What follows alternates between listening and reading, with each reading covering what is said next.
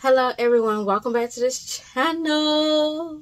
So i told you guys in the last video that as soon as i got the photos back from my photo shoot i was gonna share it.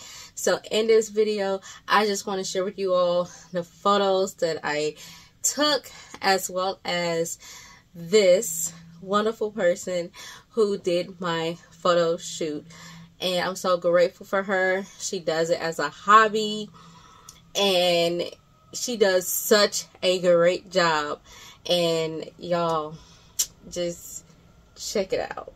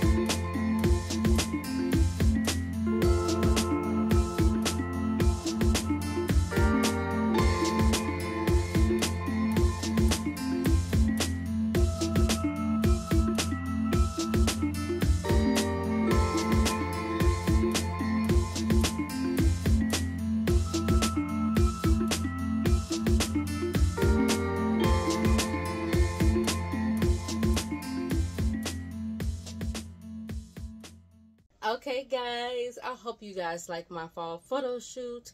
Look forward to talking to you guys again soon.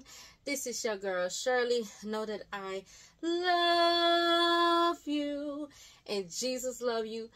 God love you and his Holy Spirit who dwells within you if you are a Christian. If you have accepted Jesus Christ as your Lord and Savior. Oh, let me just give you an opportunity to do so. Since I, you know, I'm going to say that, let me give you opportunity to do so. The way that you do that is you confess with your mouth that Jesus is Lord and you believe in your heart that God raised him from the dead, and guess what? You are saved. That simple. Just say, Lord, I need you in my life. I accept you as my Lord and Savior. Please forgive me, God, for all of my sins, Lord. Then guess what? If you said those words and you were sincere in your heart, you are saved, but don't just be saved. Make sure you also get connected. Connected to a church where you can grow your understanding of who God the Father is, who God the Son is, and who God the Holy Spirit who dwells within you. Who is He?